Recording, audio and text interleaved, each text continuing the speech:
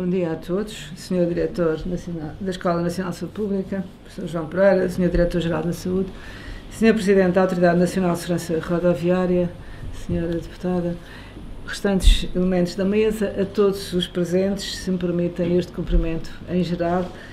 Ehm, e, de facto, um prazer estar aqui na escola e, fundamentalmente, por aquilo que nos traz hoje aqui e, de facto, eh, conforme a mensagem da Diretora-Geral da Organização Mundial de Saúde, e que ouviremos daqui a pouco a sua mensagem, os acidentes de trânsito constituem um grave problema de saúde pública que requer da nossa atenção e exige uma atuação coletiva.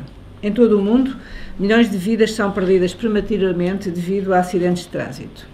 Na Europa morrem cerca de, cerca de 120 mil pessoas e mais de 2 milhões são vítimas de acidentes e ficam com incapacidades, muitas vezes permanentes, todos os anos. E este é um problema que muitas vezes não é muito evidente, porque se falam de mortes, mas não se falam depois das mortes imediatas, não se falam das complicações, muitas vezes relacionadas com os acidentes e que só mais tarde deixam muitas, muitas pessoas incapacitadas.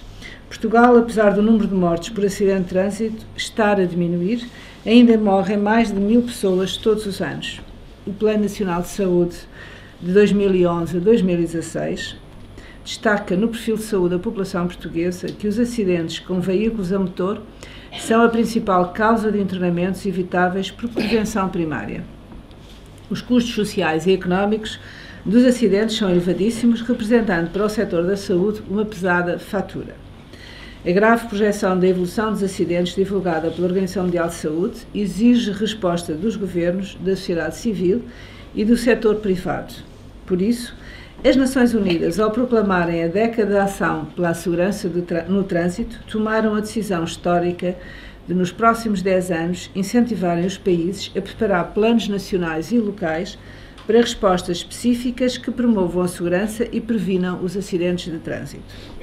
Há medidas simples de segurança no trânsito que, são, que já provaram ser extremamente eficazes, como o uso de cinto de segurança, o uso adequado de sistemas de retenção de crianças, tal como do capacete por motociclos, bem como a redução da velocidade e a diminuição do consumo do álcool quando se conduz.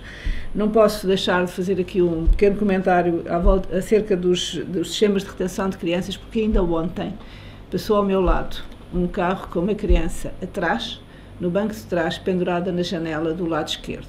E eu penso que isto é de uma, uma criança que teria 3, 4 anos.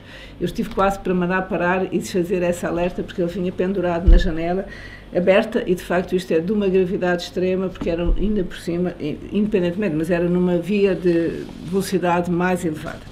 Enfim, apesar destas recomendações, ainda temos muitas eh, pessoas pouco conscientes com esta situação. A resolução das Nações Unidas exorta os Estados-membros a desenvolverem planos de ação para a década com atividades integradas nos cinco pilares de segurança rodoviária, particularmente no âmbito da gestão, da mobilidade, da segurança dos veículos, da melhoria dos comportamentos dos utilizadores da estrada e da resposta de emergência após o acidente.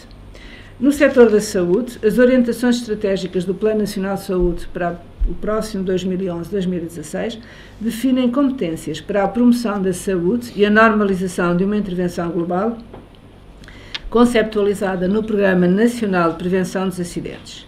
São, diria, tijolos na construção do processo da cidadania, pilar de um trabalho intersetorial de promoção da segurança e prevenção dos acidentes efetivamente, a melhoria do nível de literacia em saúde e a segurança rodoviária é uma questão crucial tanto para a saúde pública como para o desenvolvimento do país. O êxito da prevenção depende do compromisso de todos os setores pertinentes. Numa perspectiva de continuidade e qualidade das intervenções que cabe à saúde, o papel de prestador de cuidados de emergência, tratamento hospitalar, reabilitação e apoio às vítimas e suas famílias. A preocupação da saúde em todas as políticas é hoje aceita como a via mais promissora para a realização individual e coletiva. Daí ser tão importante integrar as estratégias de todos os ministérios e organizações da sociedade civil que contribuam para a segurança no trânsito no plano de ação da década que hoje aqui lançamos a sociedade civil portuguesa que tem advogado um pacto social que valoriza a segurança e a cidadania e que vem pugnando pela mobilização e responsabilização cívica é um parceiro indispensável. As ONGs que integram a Estrada Viva, Liga contra o Trauma, muitas criadas depois de um acontecimento dramático onde ocorreram perdas de vidas de familiares próximos, têm toda a legitimidade para exigir e agir, dando-nos uma dose extra de energia e motivação para conseguir mudanças. Em linha com as, com as recomendações da OMS, Portugal irá fazer da prevenção dos acidentes de trânsito uma prioridade de saúde pública nesta década.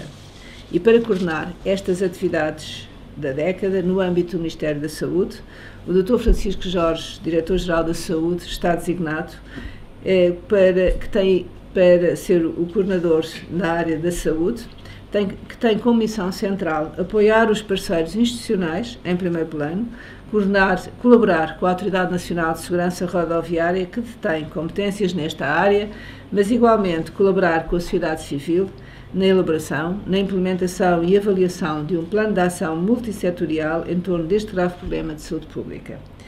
E não esqueçamos que juntos podemos salvar muitas vidas, mas que este problema da segurança e da segurança rodoviária, para além de todas as medidas, é também um problema de cidadania para cada um de nós cumpra e, e, e seja responsável por si e por aqueles outros que nos estão próximos e que são os outros que também caminham ao nosso lado.